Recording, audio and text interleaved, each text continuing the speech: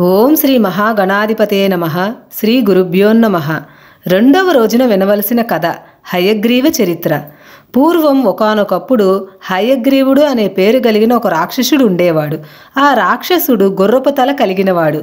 కనుక హయగ్రీవుడు అన్నారు మెడ నుంచి పైభాగం వరకు గుర్రం మిగతాదంతా రాక్షస శరీరం. వాడు బ్రహ్మ కోసం తపస్సు చేస్తే బ్రహ్మదేవుడు ప్రత్యక్షమై ఏం వరం కావాలో కోరుకోమంటే వాడు నాకు మరణం లేని వరం ఇమ్మన్నాడు. ఇది మాత్రం కుదరదు. ఓయి వీరుడా ఈ భూమండలంలో పుట్టిన ప్రతి ఒక్కరూ మరణించి తీరాలి. మరణం ఈ రోజు అవ్వచ్చు రేపు అవ్వచ్చు. నూరేళ్ళ తర్వాత అవ్వచ్చు. మృత్యువు మాత్రం తప్పదు. మృత్యువు లేకుండా శాశ్వతంగా చిరంజీవిగా బ్రతికే వరం నేను ఇవ్వను. రాక్షసుడు బాగా ఆలోచించి చావు లేకుండా వరం ఇవ్వనంటున్నావు. చావు కోరుకుంటాను. నాలాగా గుర్రపు తల కలిగినవాడు ఈ ప్రపంచంలో ఎవరైనా ఉన్నాడా? బ్రహ్మదేవుడు చిరునవ్వు నవ్వి ప్రస్తుతానికి లేడు అన్నాడు. ప్రస్తుతం లేడంటే భవిష్యత్తులో కూడా రాడు. కాబట్టి నేను ఎవరి చేతుల్లోనూ మరణించకుండా వరం ఇవ్వు. ఎప్పటికైనా చావు అంటూ వస్తే మాత్రం నా వంటి హయగ్రీవుడి చేతిలో మాత్రమే నాకు మరణం ప్రసాదించు. బ్రహ్మ తదాస్తు అన్నాడు. దాంతో వాడు విజృంభించాడు. లోకాలన్నిటినీ పట్టి పీడించాడు. వాడిని ఎవరూ ఏమీ చేయలేకపోయారు. ప్రపంచమంతా అల్లకల్లోలో అయిపోయింది. అప్పుడు అంతా కలిసి వైకుంఠానికి వెళ్ళి శ్రీమన్నారాయణ దగ్గర మొరపెట్టారు. ప్రభూ పాహి పాహి రక్షించు రక్షించు అన్నారు. అప్పుడు శ్రీమన్నారాయణుడు దేవతలకు సహకారంగా హయగ్రీవుడితో ఘోర యుద్ధం చేశాడు. ఎంతకాలం యుద్ధం చేసినా వాడు చావలేదు. ఐదు వేల సంవత్సరాలు యుద్ధం చేశాడు. రాక్షసుడికి అలసట రాలేదు. స్వామికి అలసట వచ్చి పాలసముద్రంలో ఒకచోట వింటి మీద తల పెట్టుకొని నిద్రపోయాడు. ఈలోపు దేవతలంతా హయగ్రీవుడి చేతిలో చావు దెబ్బలు తిని బ్రహ్మదేవుడి దగ్గరికి బాబోయ్ విష్ణువు మధ్యలో తప్పుకున్నాడు. ఆయన తప్పుకుంటే మేము ఓడిపోయాము. ఇప్పుడు ఆ విష్ణువు ఎక్కడున్నాడో వెతుకుదాము. ఆయన వచ్చి ఈ రాక్షసుణ్ణి చంపితే గాని మనం బ్రతకమని అంటే అంతా కలిసి విష్ణువు కోసం వెతకగా విష్ణువు పాలసముద్రంలో ఒకచోట ఏకాంతంలో అల్లెత్రాడు ఎక్కుపెట్టి ఆ తాడు మీద తలపెట్టి నిద్రపోతూ కనపడ్డాడు. గాఢంగా నిద్రపోతున్నాడు. ఈ నిద్రపోతున్న ఆయన లేవాలి రాక్షసుడిని చంపాలి. ఈయనను ఎవరు నిద్ర లేపుతారు అనగా ఎవరికి వారు? అసలు నిద్రపోతున్న వారిని లేపకూడదు. అందులో గాఢంగా అలసి నిద్రపోతున్న భగవంతుని శ్రీమన్నారాయణుని లేపటం మహాపాపం అని ఎవరికి వాళ్ళు భయపడ్డారు. అప్పుడు బ్రహ్మ తన మహామహిమతో ఒక పురుగుని సృష్టించాడు. దానిని సంస్కృతంలో వమ్రి అంటారు. బ్రహ్మదేవుడు దానిని పిలిచి విష్ణువు పడుకున్న అల్లెత్రాడు కొరికితే ఆయన తల ఒరిగి మెలకువ వస్తుంది. నువ్వు వెళ్ళి ఆ పని చెయ్యి అన్నాడు. అప్పుడు ఆ పొరుగు పాపపు పనిని చేయడానికి నన్ను సృష్టిస్తావా? ఎవరైనా గాఢ నిద్రలో ఉన్నటువంటి వాడిని లేపటం మహాపాపం. నిద్రాభంగం బ్రహ్మహత్యా పాపంతో సమానం. పురాణ కథ సాగుతూ ఉంటే దానికి భంగం కలిగించడం కూడా బ్రహ్మహత్యతో సమానం. భార్యాభర్తల ఐకమత్యంతో కలిసి ఉంటే వాళ్ళని విడదీయడం మహాపాపం. తల్లిని బిడ్డని వేరు చేయడం ఘోర పాపం. ఈ నాలుగు బ్రహ్మహత్య పాపములతో సమానం. ఇప్పుడు ఈ నిద్రపోతున్న భగవంతుని నేను లేపితే నాకు బ్రహ్మహత్యా పాపం చుట్టుకోదా అని అడిగితే నీకు ఆ పాపం లేకుండా ప్రాయశ్చిత్తం చేస్తానని బ్రహ్మదేవుడు చెప్పాడు. ఎన్ని చెప్పినా నేను స్వార్థం లేకుండా ఎందుకు చేస్తాను? నాకేమిటి ప్రయోజనం అని పురుగు అడిగింది బ్రహ్మదేవుడు చెదపురుగును చూసి నవ్వి సరే ఇక మీదట యజ్ఞం చేస్తున్నప్పుడు సృక్కు సృవల నుంచి కారుతున్న నెయ్యి నీకు ఇస్తున్నాను. దానిని ఆహారంగా స్వీకరించు. వెళ్ళి ఆ తాడు కొరుకో అన్నాడు. చెదపురుగు ఒప్పుకోలేదు. ఇంత చేస్తే నాకు ఇచ్చేదా నేతి బిందువులా? సరిపోదు అంది. అప్పుడు బ్రహ్మదేవుడు నేల మీద ఒరిగిన ద్రవములు కూడా నీకే ఇచ్చేస్తున్నాను. పాలు పెరుగు నెయ్యి మొదలైనటువంటి ద్రవ పదార్థాలు కింద పడిపోతే పొరపాటును కూడా ఎత్తరాదు. అది ఎత్తితే అనారోగ్యం ఉపద్రవం వస్తుంది. అవి మనం వాడుకోకూడదు. ఈ రెండేనా? ఇంకొక వరం ఇవ్వు అని ఆ చెదపురుగు అడిగింది. అప్పుడు బ్రహ్మదేవుడు చాలామంది పుస్తకాలు తెరవకపోతే ఆ పుస్తకాలు నీవే తినమని అన్నాడు. అప్పుడు ఆ చెదపురుగు ఒప్పుకొని ఆ వమ్రి టక్కున అల్లెత్రాడును కొరికింది. ఆ త్రాడు ఎక్కుపెట్టి ఉండడం వలన బలంగా లేచిపోయింది. విష్ణువు తల తెగి సముద్రంలో పడిపోయింది. మామూలు తాడు కాదు. వింటినారి శారంగమనే కోదండం. ఆ బలానికి స్వామి తల తెగి సముద్రంలో పడగానే ప్రపంచమంతా అల్లకల్లోలం అయిపోయింది దేవతలు హాహాకారాలు చేశారు. అయ్యో శ్రీమన్నారాయణ శిరస్సు తెగిపోతే మనల్ని ఎవరు రక్షిస్తారు? ఇంత అన్యాయం జరిగింది ఏమిటంటే అప్పుడు బ్రహ్మదేవుడు ఏదో ఒక కారణం లేకుండా ఇది జరగదు. దీని వెనకాల అమ్మవారి యొక్క సంకల్పం ఏదో ఉంది. మనమందరం ఆ అమ్మని ప్రార్థిద్దాం. శరత్కాలంలో అది రెండవ రోజు. ఈ రోజు అంతా కలిసి అమ్మని పాల సముద్రం ఒడ్డున ఓ పెద్ద మండపం ఏర్పాటు చేసి చతురస్రాకారంలో అందులో అమ్మవారి యొక్క విగ్రహం పెట్టి కలశ స్థాపన చేసి బ్రహ్మ భక్తితోటి గన్నేరు పూలతో పూజించాడు. రెండో రోజు గన్నేరు పూలతో పూజిస్తే శత్రువుల మీద విజయం సాధిస్తారు. ఎటువంటి భయంకర శత్రువైనా తొలగిపోతాడు. అప్పుడు అమ్మవారు ఆకాశంలో ప్రత్యక్షమై భక్తి శ్రద్ధలతో విధియనాడు నన్ను కలశ స్థాపన చేసి గన్నేరు పూలతో పూజించారు.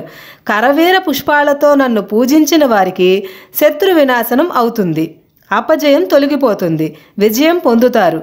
ఈ విష్ణువు యొక్క శిరస్సు తెగడానికి ఒక కారణం ఉన్నది ఒకప్పుడు పాలసముద్రంలో లక్ష్మీదేవి విష్ణువు యొక్క పాదాలు ఒత్తుతుండగా హఠాత్తుగా లక్ష్మీదేవి కళ్ళని నలుముకున్నది. అప్పుడు ఆమె కంటికున్న కాటుక బుగ్గలకి ఒక మచ్చ కింద అంటుకుంది. బంగారం లాంటి లక్ష్మీదేవికి ఒక నల్లటి చుక్క వచ్చిందే అని చిరునవ్వు నవ్వాడు విష్ణువు.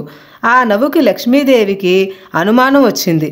కాలప్రభావం వల్ల లక్ష్మీదేవి ఇలా అనుకున్నది. పరశ్రీ వ్యామోహంలో పడి శ్రీహరి నన్ను అపహాస్యం చేస్తున్నాడేమో అని అనుమానం పెరిగిపోయి వెనుక ముందు చూడక గాఢ నిద్రలో ఉండగా నీ విన్ నీ వింటి తాడు తెగి నీ తల సముద్రం పాలైపోవుగాక. సముద్రంలో పడిన తల ఎవరికీ కనపడకుండా అయిపోవుగాక అని శపించింది. ఆ శాపం వల్లే ఇలా జరిగింది. ఆ శాపం కూడా నేనే కావాలని పెట్టించాను. ఎందుకంటే ఈయన తల తెగి కనపడకుండా పోతే అప్పుడు ఆయనకు కొత్త తల పెట్టవచ్చు. హయగ్రీవుని హయగ్రీవుడు చంపాలి. మీరంతా విశ్వకర్మ ద్వారా ఇనుముతోటి ఒక గుర్రపు తలను తయారు చేయించి మొండెం దగ్గర పెట్టండి.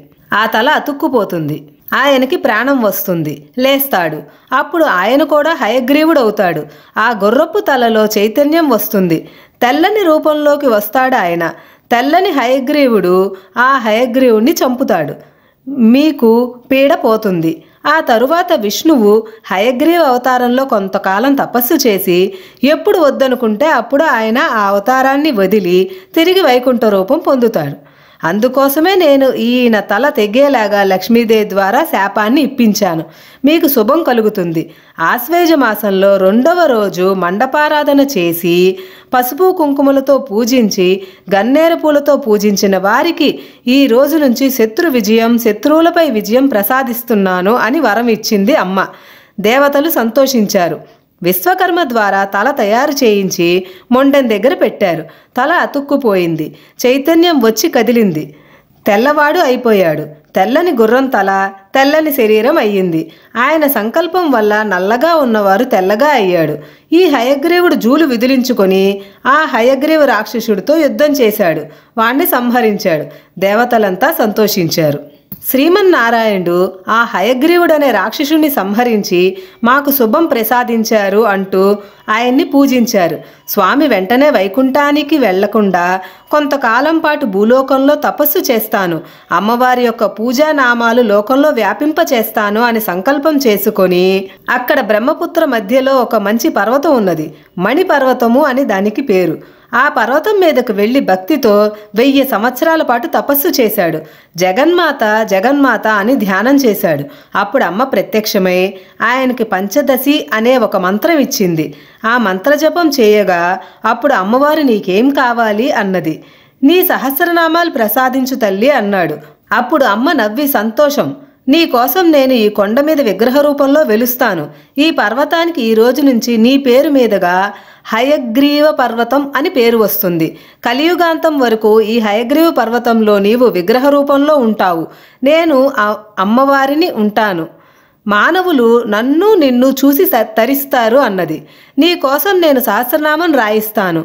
అని అప్పుడు వసిని కామేశ్వరి మోదిని విమల అరుణ జయిని సర్వేశ్వరి కౌలిని అనే పేర్లు కలిగిన ఎనిమిది దేవతలు వాళ్ళకి వసిన్యాది వ్యా- వాగ్దేవతలు అని పేరు.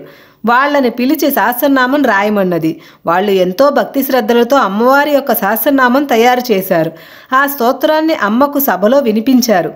సహస్రనామ స్తోత్రాన్ని మణిద్వీప పర్వతం మీదున్న హయగ్రీవుడికి అమ్మవారు ఉపదేశించింది. ఆయన ఆ సహస్రనామం చాలా కాలం జపం చేశాడు. ఆయన భగవంతుడు శ్రీమన్నారాయణుడు. ఈ రూపంలో ఇక్కడే ఉండేవాడు. వైకుంఠంలో తన దివ్య మంగళ రూపంలో అక్కడ ఉండేవాడు. ఏకకాలంలో రెండు చోట్ల ఉండేవాడు. అయినా అక్కడ ఉంటూ వెయ్యి సంవత్సరాల పాటు అమ్మవారిని పూజించాడు. అందుకే ఆ కొండకు వెళితే అంత శక్తి. ఆ తరువాత హయగ్రీవుడి దగ్గరికి అగస్త్యుడు లోపాముద్ర సమేతంగా వస్తే లోపాముద్రకి అగస్త్యునికి ఈ సహస్రనామం ఇచ్చాడు. చేతిలో అక్షతలు పట్టుకొని ఈ కథ వినండి. తరువాత అక్షతలు తలపైన చల్లుకోండి. వీలుంటే ఈ పూట అమ్మవారిని బాగా ధూపంతో నింపేయండి. శత్రు వినాశనం అయిపోతుంది. లలితా సహస్రనామం తొమ్మిది రోజుల పాటు రెండు పూట్ల చదవడం చాలా మంచిది. దానివల్ల హయగ్రీవుడు తరించాడు అగస్త్యుడు తరించాడు లోపాముద్ర తరించింది. అత్యంత పవిత్రమైన ఈ నామాలతో అమ్మని ఈ రోజున అర్చించండి. రెండవ రోజు పులిహార నైవేద్యంగా పెట్టినా దద్యోధనం నైవేద్యం పెట్టినా అటువంటి వాళ్ళకు అనుకున్న కోరికలన్నీ తీరుతాయి. ఏమున్నా లేకపోయినా పానకం వడపప్పు సలిమిడి రెండు అరటిపళ్ళు కొబ్బరికాయ మాత్రం ఇవ్వండి. సాయంకాలం పూట రోజు తప్పక పోపు పెట్టినటువంటి శనగలు మాత్రం సమర్పించండి. శనగల వల్ల అన్ని లాభాలు కలుగుతాయి. ఈ విధంగా రెండవ రోజున అమ్మవారిని పూజించి కథ విని అనేక శుభాలను పొందండి.